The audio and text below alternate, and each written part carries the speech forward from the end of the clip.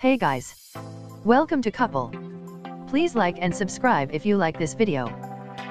Earlier this year, Google rolled Android Pay and Google Wallet into one service called Google Pay.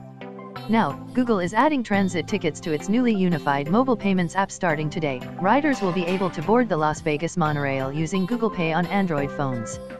Google says more cities and transportation services are on the way. Riders will have to purchase tickets or daily passes on the Las Vegas Monorail's website on their computer or phone and save them to Google Pay from there. After that, they can just hold their phone near the contactless reader at the monorail turnstiles to enter. Google Pay will also show things like ride history or the nearest monorail stations. The Las Vegas monorail, which bills itself as one of the most advanced urban transportation systems in the world, only consists of seven stops. The total ride time is around 15 minutes end to end. It's also privately owned and operated.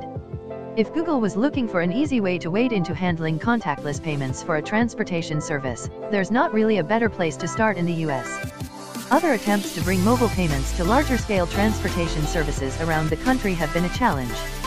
New York City's Metropolitan Transportation Authority has been testing a new tap-to-pay system for the subway since last year, but a complete rollout will take years. Other places, like the UK and Japan, have made contactless payments available on public transportation systems for years. Google hasn't specified where it will expand to next, or what other kinds of transportation services it will work with. The Las Vegas monorail's contactless payment infrastructure is from Dutch technology company NXP, which offers similar technology for car rentals, bike sharing, ferry ticketing, and a number of public transportation services around the globe.